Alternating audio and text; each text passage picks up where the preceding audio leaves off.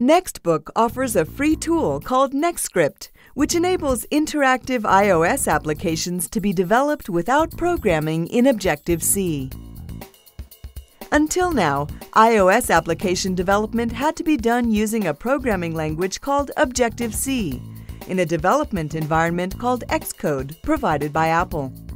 But NextScript enables iOS applications to be developed easily, even by people whose only skills are in HTML and CSS.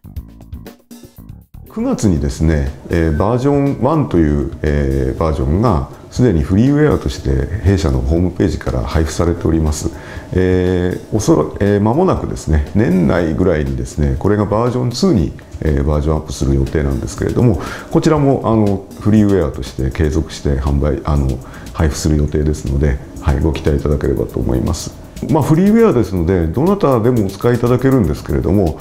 例えばそのやはり、えー、オブジェクティブ C C 言語で書くのは非常にハードルが高いというですね、えー、だけど何かこうアプリとして表現したいものを持ってるというようなクリエイターの方えー、そういう事例はもうすでに、え、ございますけれども、まあ、そういうクリエイターの方それからですね日常的にそのやはりアプリを開発してらっしゃる、え、ベンダーの方、まあ、そういった方に使っていただいてもですね、えー、全部を強いて記述しないでですね、えー、NEXT スクリプトを取り入れることによって開発効率を上げるということができますので、まあ、そういったあのいわゆる開発ベンダーの方そういった方々にも広く使っていただけるものだと思ってます。はい、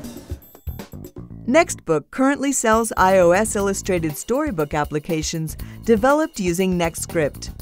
Apps developed using NextScript also support multiple languages, so they can be localized into English, Chinese, Korean, French, Spanish, and Portuguese, as well as Japanese. NextScript 自体はですね、えー、現状マニュアルという環境で申し上げますと日本語と、まあ、これから英語版が出てまいりますけれども今のところ2カ国の対応になっておりますただあの英語のマニュアルを見てですね、えー、NextScript を使って中国語で、えー、アプリを開発するということは当然できますのでそういう意味ではあのどんな言語でも使っていただけるツールだと思っております。